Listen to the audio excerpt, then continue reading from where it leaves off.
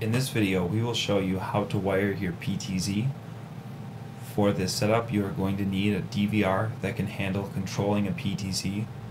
You will need a Siamese coax cable up to 100 feet. That is a BNC video connection and a DC female and male power connection. You will need a Cat5 cable, the same length as your video and power cable you will need a 24 volt power adapter. You'll need a male pigtail, a female terminal, and of course your PTZ camera. The first step in setting up your PTZ is going to be to take your male pigtail and connect it to your 24 volt power adapter. Because the power is AC, it doesn't matter whether you have a red or a black going into either or, so we'll just go ahead and screw this in. After you make your connection, give it a quick tug to make sure that it's in there securely. The second step is to take your length of Siamese coax cable and connect your power to it. So on the cable there's going to be two ends that look the same, but there is a slight difference. You'll see on one end there is a different power connection than the other. The power connection that you want is the female end, so we'll go ahead and put this in to the cable. The third step after you have connected your power is to take the video connection on your Siamese coax cable and plug it into a video import on your DVR.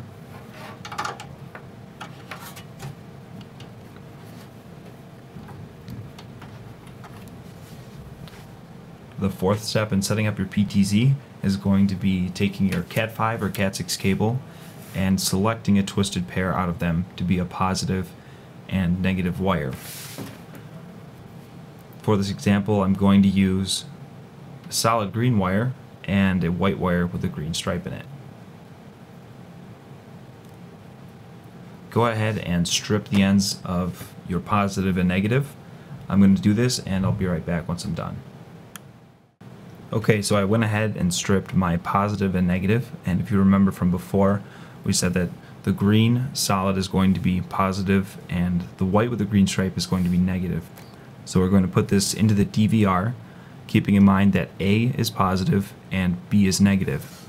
To put these connections in the DVR, you're going to need a flat blade screwdriver. The way this works is you push in the orange tip here, and then insert your wire. Once your wire is in, simply let go of your screwdriver and then go to the next one. Doing the same thing. Push it back. Insert the wire. And then let it go. After you put them in give them a light tug to make sure that they are in fact held in there. But these are pressure clips so you don't want to pull too hard because they will come out. So we've got a solid connection there. And move on to the next step all the steps previous to this one were on the DVR side of the installation. In step 5, we're expecting that you have installed or at least gotten your bracket up where you want to put your PTZ and you've run wires to that bracket. With that being said, the fifth step in this setup is going to be taking your female terminal block and attaching it to your red and black wires for power on your PTZ. To do this, simply push the connector onto your wires and then using a small Phillips head or flat blade tighten your connections.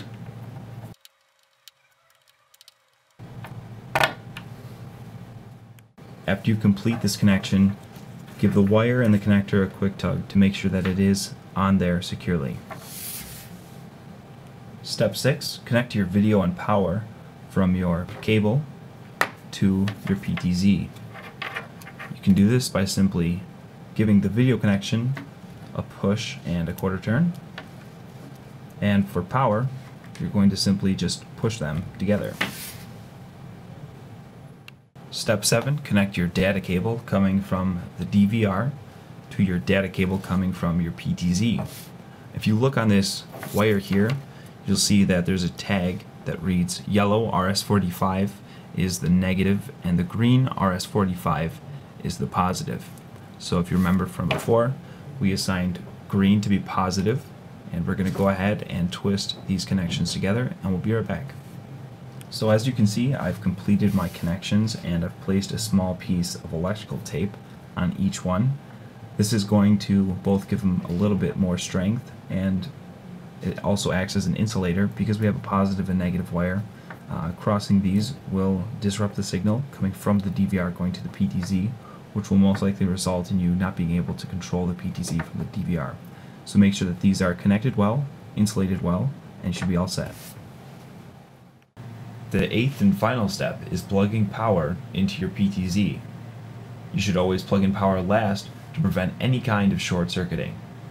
Any type of short circuiting may result in the malfunction or complete destruction of your equipment. So after you are 100% sure that your connections are correct, it is then safe to plug in power.